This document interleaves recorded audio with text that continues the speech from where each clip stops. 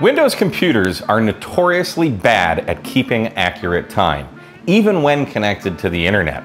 Now this can be important for us as portable ham radio operators, especially if we're doing FT8 or any of the other digital modes that require a very accurate time synchronization.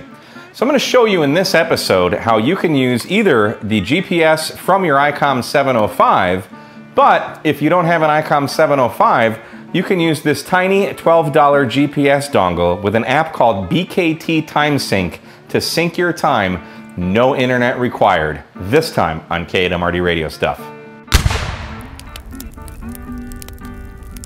All right, so there's two things we need to do on our 705 first. We're gonna hit menu, go to set, and then go to connectors. Then on menu 3, 3 under connectors, we're gonna go to USB B function where it says GPS out. We want to turn that on. Then we can exit out of there. Then we're going to go menu again. We're going to go to menu 2. We're going to hit GPS. And we're going to hit this GPS TX mode. And we're going to change that to NMEA. And we can exit out of there. And that is it for the 705.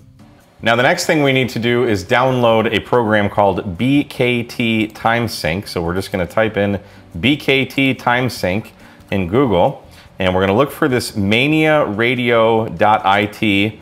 We're gonna go to BKT TimeSync, should look exactly like this. And we're gonna scroll all the way down to where it says download BKT TimeSync. Download that and install it. Now that we have BKT TimeSync installed, we can go ahead and make sure that our 705 is plugged into the radio and into the computer. We also want to make sure that it is receiving a GPS connection. Now we can check our device manager to find out which COM port our uh, 705 is on. Now, because we enabled USB-B, we're going to see two COM ports. In my case, I have COM port 12 and COM port 13. COM port 12 is the regular radio's COM port. COM port 13, or the second COM port that you see that should be underneath it, uh, is going to be the GPS or the USB-B signal out. We're going to need to set that in BKT TimeSync here now. So now we can open up uh, BKT TimeSync. It does this every time, just hit yes. And now here we have the program. Now we can use enable NTP. You can, you can actually use this to sync over the internet. In our case, uh, we just want this enable GPS button uh, checked. Now here we're gonna check, uh, we're gonna change the COM port. We're on COM 13. Now you don't need to set a baud rate.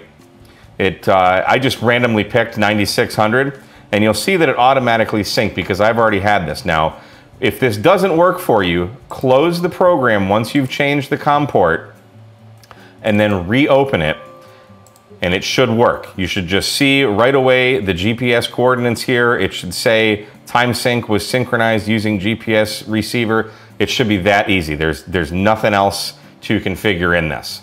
So now let's say we don't have a radio that has GPS built in. We can get this tiny little GPS dongle off of Amazon for $12. I'll leave an affiliate link in the description and you can plug this in. You're gonna have to wait a minute for it to find the GPS satellites, but once it starts blinking green like this, we know that it's acquired some satellites, so we can then open up BKT TimeSync again, hit yes to allow it to get in.